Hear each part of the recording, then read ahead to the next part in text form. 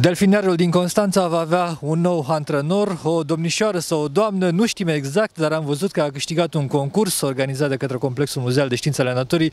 Detalii ne oferă domnul director Adrian Bulbă. Uh, da, și al cincilea antrenor, în condițiile în care avem uh, doar uh, doi delfini, va avea și alte activități decât cele specifice antrenoratului, cele specifice activității cu delfinii, și anume interfața cu vizitatorii.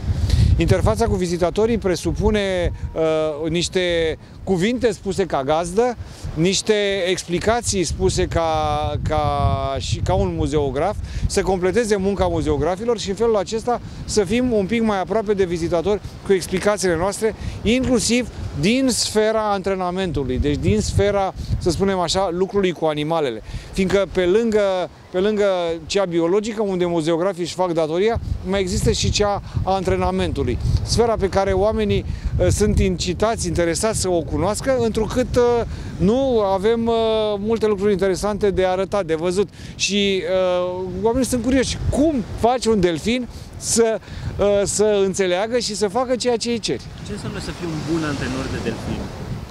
Un bun antrenor de delfin, în primul rând, ca și un bun dresor de animale, presupune să, să fii o, o persoană deschisă, o persoană care este capabilă să înțeleagă comportamentul acestor animale, să le iubești și în, cu aceste premize să pornești la, la realizarea unei punți de comunicare cu acestea.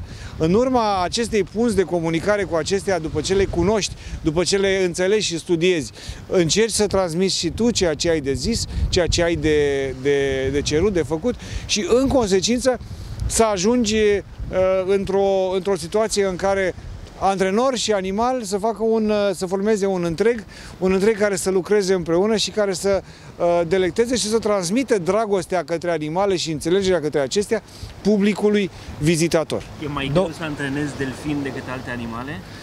Sau e mai ușor? Uh, nu este mai greu, este însă foarte specific. Ca să antrenezi delfin trebuie să fii un înătător, trebuie să fii capabil să intri în apă cu ei, trebuie să fii capabil de a de a, uh, de a, de a avea un uh, grad de, de, de pregătire fizică corespunzătoare, pe de o parte, și pe de altă parte să fii capabil să, uh, să iubești, bineînțeles, și să fii capabil să comunici cu un animal care comunică diferit decât un animal terestru. E puțin diferit, nu e neapărat mai greu.